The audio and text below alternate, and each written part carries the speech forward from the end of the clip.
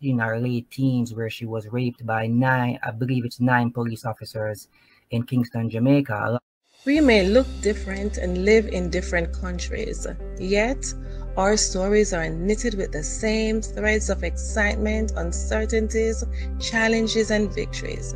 As we journey through the ups and downs of life, it is our undeniable will and God's strength that propel us to joy after pain, smile after frowns, and ups after downs. We were born to win. We were destined to greatness. We are overcomers. Welcome to GodScoop's Raw and Unedited Stories.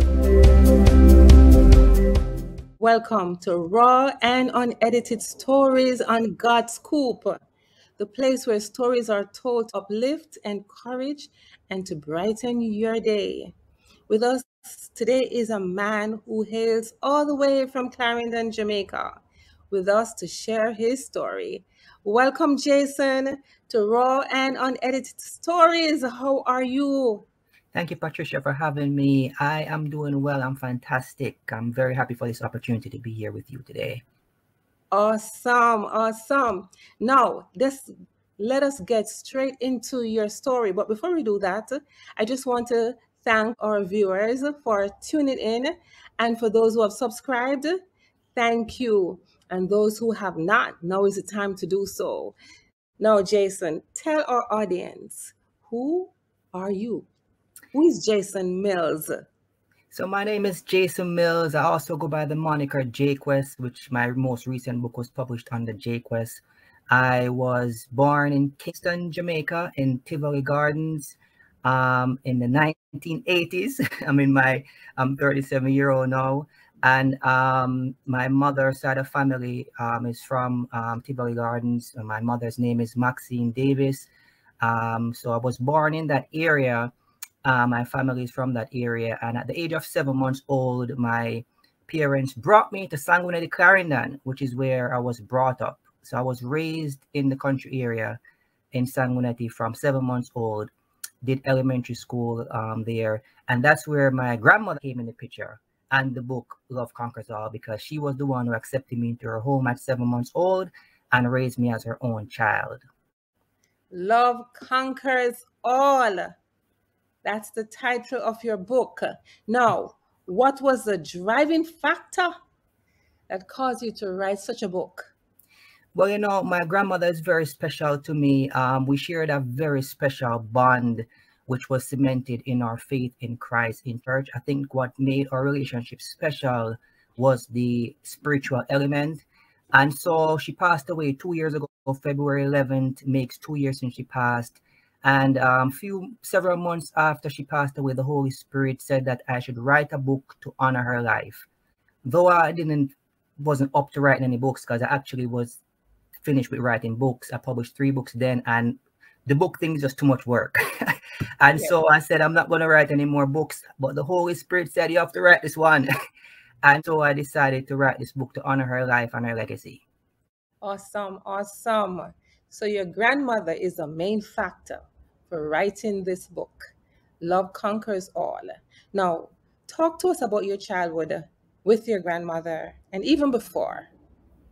Um, you know, with my grandmother, um, she always saw something in me that I didn't even see in myself.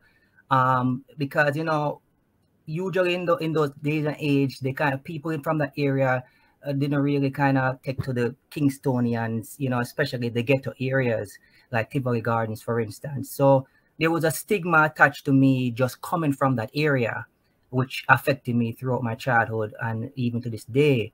Um, I was trying to explain that to my brother who's from the area even recently that you know, it wasn't easy growing up in a country area having the stigma over your head that you're from a garrison. But my grandmother saw something in me that saw a seed in me. She saw something in me that she believed was worth investing in. And so she did her best to invest in me, though she had many kids of her own. My grandmother had, I think, I think she had 11 children. And at the time, uh, probably around four or five of them were still in the household and other people. And she still took in the seven month old baby um, from a 19 year old woman from Tivoli Gardens and welcoming her home. And, you know, she just spent so much time cultivating a relationship. And um, she she just kind of looked at me as like a special child. I don't know why. Um, in church, I always have this special thing where she and Jason, if you see Miss Dell, you see Jason, if you see Jason, you see Miss Dell. I mean, even a book that we had for the church, you know, her name and my name is in the book. So it was just something special in that circle, you know, that we just bonded um, immediately from from that early age until I, I, I grew up as an adult and still have that strong bond with her. Awesome, awesome.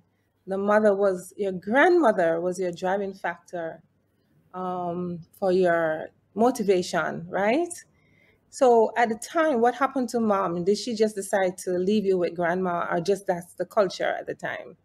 Well, no, you know, um, my mother, unfortunately, she suffered a traumatic incident, um, a rape incident, um, prior to my birth. Um, I think she was in her late teens where she was raped by nine, I believe it's nine police officers in Kingston, Jamaica. A lot of people don't know that side of my story or even her story.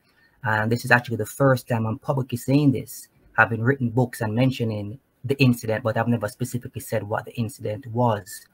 Well, now that, that now I think I'm at this place in my life where I would be more open about that.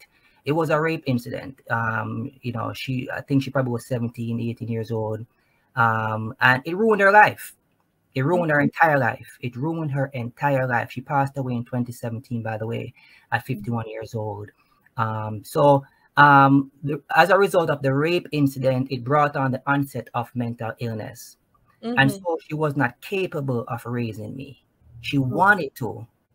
She mm-hmm. wanted to, but she just wasn't capable mentally, emotionally to raise me as her own. And incidentally, and I wrote about this in the book Love Conquers All, she came back for me because when she when they brought me to Clarendon to Sanguinetti, her intention was for me to visit, not to live. Mm-hmm. So she came back for me, you know. And it, it so happened that it was on a Sunday. She came back for me. She was a she's a Sabbath keeper, so she go to church on Saturday. But my grandmother and I we went to Anglican church, so we went to church on Sunday. And so my mother and some other folks came back, came back to Sanguinetti for me. And incidentally, my grandmother was bringing me from church. And it's because they saw that I was coming from church why they left me there. So had had it, had it been, been on any other day, the story could have been different. Right, right. Or if they saw any, you know, ill treatment towards me, they probably would, have taken me. But because my grandmother was bringing me from church, my uh, my mother and the people them said, No, Maxine, man, him in good hands, him in good hands. And by the way, this is probably 20 year old, 21 year old Maxine. This is a very young, you know, young person. Mm-hmm. And so that's what made her decide to leave me down in Sanguinetti. All right. So your because your book is a real story, it's a true story. Talk to us about some of the the, the um the details of the book.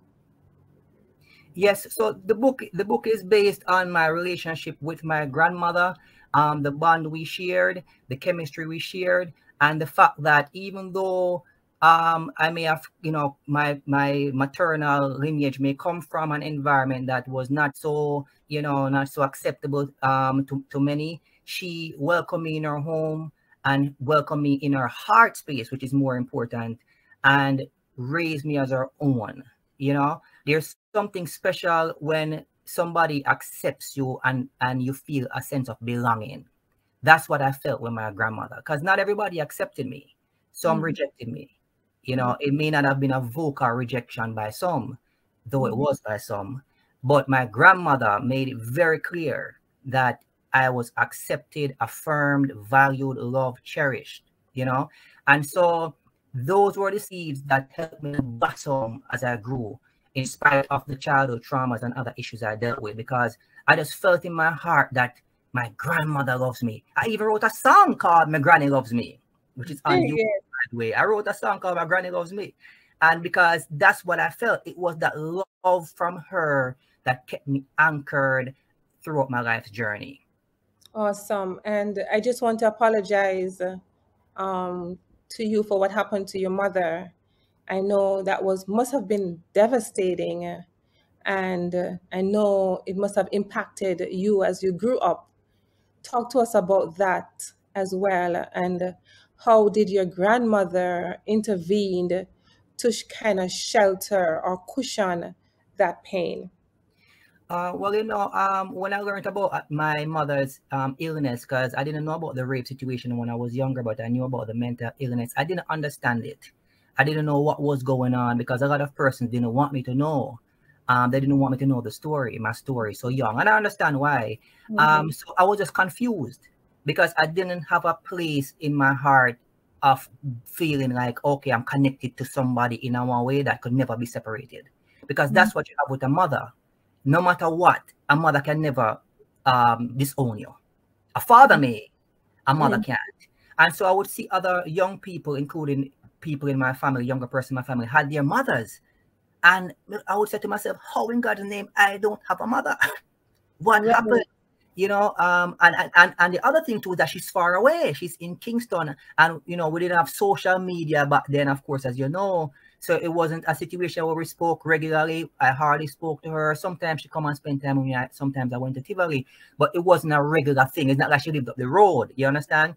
So mm-hmm. there was this void in my heart of mm-hmm. why why why why why don't i have my mother but my grandmother, because she was just so vested in me and she was just so nurturing, I wrote in the book that my grandmother, my grandmother is like um what water is to a plant.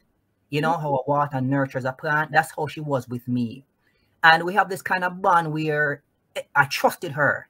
Anything she told me to do, I did it.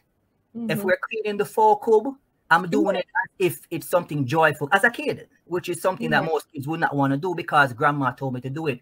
So it's that kind of bond, you know. She's if she's peeling ginger outside, I'm there peeling ginger with her. If she a martyr um coffee, I'm martyring coffee with her. So we had that kind of relationship where whatever she did, I was just there with her. And so that nurturing spirit kind of helped shelter my heart, my soul, if you will, mm-hmm. from from not sinking into deep depression and, and you know at that tender age.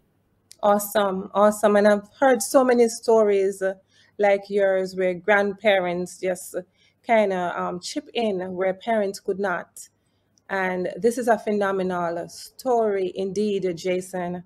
Talk to us about how you overcame some of those uh, just sideline struggles because grandma was there for you so you, you never had it in in in your in, you never you didn't see it right away every day but indeed it was there. So how did you overcome that? Well, you know, one of the biggest struggles I had growing up, and even to this day as a grown man, I still struggle with this. I still get therapy for this, is dealing with rejection. Because as I said, even though my grandmother accepted me and affirmed me, not everybody did. And, um, you know, so I, I struggle with what I refer to as the nobody syndrome, the feeling of nobody, the feeling of not belonging, you know? that sense of not having a home base. You know, like this is home. This is where mm-hmm. I'm coming from. You know, I struggled with that growing up, even though my grandmother's love was always there for me and all of that. I still had this struggle in me internally, Etern- internally that says you're nobody because look, you don't have no parents. You know, because growing up, my outlook was my outlook in my in my ecosystem at the time, my environment at the time was that everybody had a family and you're identified based on the family you have. So mm-hmm. if so the respect you get as a child when I was growing up was dependent on who you're connected with. So if your mm-hmm. mother is respected in the community and your family is respected, you get the respect. I don't know if it's still the same in Jamaican culture, but that's mm-hmm. how it was when I was growing up. Yeah. So if daddy and mommy respected, you get the respect. Now, if your mother come from Tivoli Gardens and you know see no father, then you're not chances are you're not gonna get any respect because mm-hmm. in your mind, you know, you're a nobody. And I have to struggle with that. And it's not going to be overt, you know, sometimes it's not going to be just blatant, you know. But as a kid, you're sensitive and you're just sensitive because you see the interaction with other children and how people deal with you. And so I struggled with that, that feeling of, of nobody. And I think what helped me to overcome it was the love of my grandmother, in addition to knowing my identity in Christ. And mm-hmm. I kept telling people that um, to this day, I wrote it in my books from in my early 20s, and I'm still hammering the same point. To me, one of the most important things as a Christian is to understand your identity in Christ. It is crucial because mm-hmm. identity has to do with who you are. And if you don't see yourself as being um, in Christ and being connected to Him and seeing yourself as a child of God, it's going to impact how you see yourself and how you operate in the world. Yes, absolutely. Because the scripture talks about when mother and father forsake you, I will take you up. Amen. Yeah, and uh, that I'm sure is a, that's your testimony, right? Your your your your your testimony that the Lord has been your father, your mother, and everything, even when um, grandma couldn't even touch those deep hurts, right? Um, thank you for that, um, Jason. And I'm sure there are so many other young people who experience just the same journey that you experienced.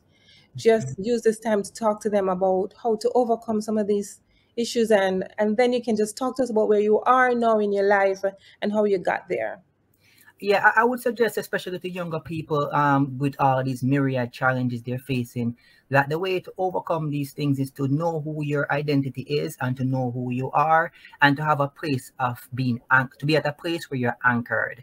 I think being anchored is very critical because a lot of time throughout my journey, even when I was in school and I, you know, failed a course, my first um paper in college, for instance, in undergraduate school, I got an I got a D minus and I went to my my um counselor and said, "This college thing is not for me." And so I went to the Lord and I prayed about it, and the Lord helped me to get the best grade in the class. So what I think helped me is just understanding who I am in Christ. And because I believed who I am in Christ, I believed I had the strength, the tenacity, the resilience to get to overcome the obstacle. You, you know what I'm saying to you? Because no matter what the challenge is, if it's a challenge of writing a book, if it's a challenge of when I was in the military, even today I wasn't feeling like talking. But whatever the challenge is, I just believed the belief is in Christ and my identity in Him. And for some reason, I get this in supernatural strength, and here I am talking to you, or, or, or I end up writing the book, or I end up getting through college and, and doing it with honors. So, what I want young people to understand is the benefit of being, of having your identity in Christ and being anchored in your faith there's a benefit to it. You, mm-hmm. you know what I'm saying to you? Because strength is derived from it. Mm-hmm. You get enriched from it. Thank you.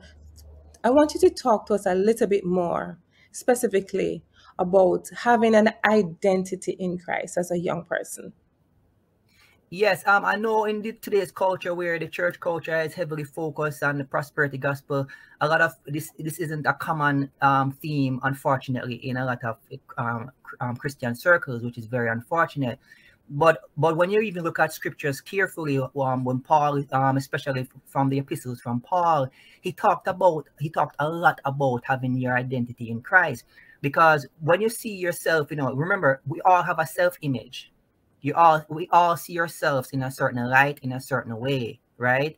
Um whether it's me being a black male black jamaican male from clarendon country you know? So you see you have this identity thing on many levels but when you look beyond all of the, those layers and you say but wait i am a child of the most high god and if god wants me to do something or to accomplish something what can stop me because think about it if the most high god and there isn't anybody higher than him is on your side, then who can overcome you? What can stop you? You know what I'm saying? If Christ is for you, then who can be against you? Think about it logically. If mm-hmm. you have the, the highest power or force in the universe on your side, then you must win one way or the other. You're going to overcome. It may not happen how you want it to, when you want it to, but God is going to make, make a way. And that's what usually happens in my life. He just always make a way, and it's oftentimes in ways that I don't expect it. Mm-hmm because that's where the faith comes in, right? Mm-hmm. And so what I want young people to understand is that you know there is really a benefit to being connected with a power that is higher than you. Think about this in a practical sense. If we were connected to the president of the United States, right, who's probably the most the most powerful office in this country, you're gonna have a certain level of benefit by being connected to this person, right? Mm-hmm. Now imagine the most high God. you know what I mean? Yes, yes. So it doesn't matter what you feel, what the struggle is, what the trauma is. You may feel it, you may go through it, but that supernatural enablement, that grace, that favor is going to empower you. Amen. The Most High God, the maker of the universe.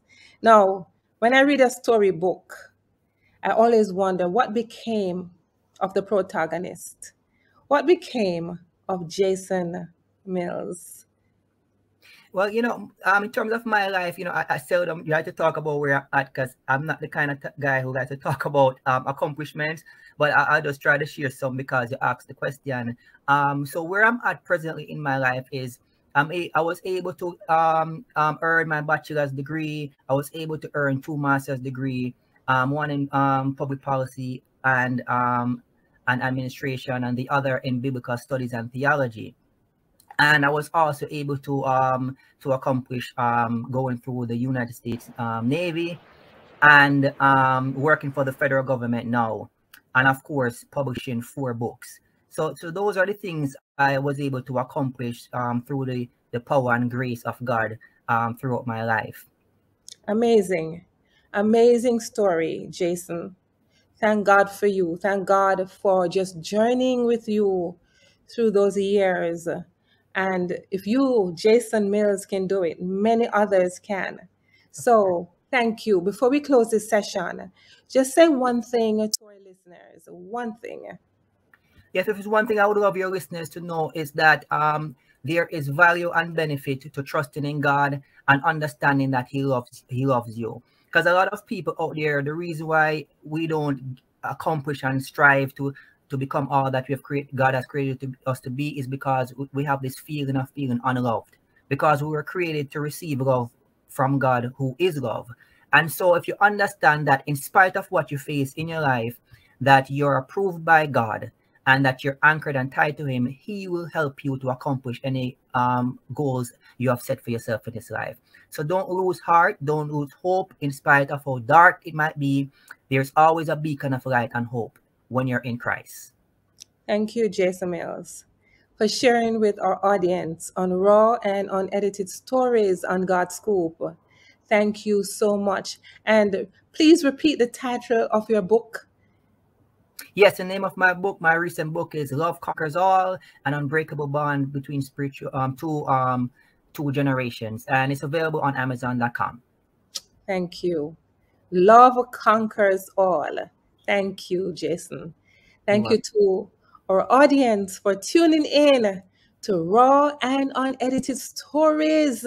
Now, everybody has a story to share. If you have a story to share, Send your information in the description link below and we will reach out to you. And remember, subscribe, like, and share. And thanks to those who have already subscribed. You have yourself a phenomenal day.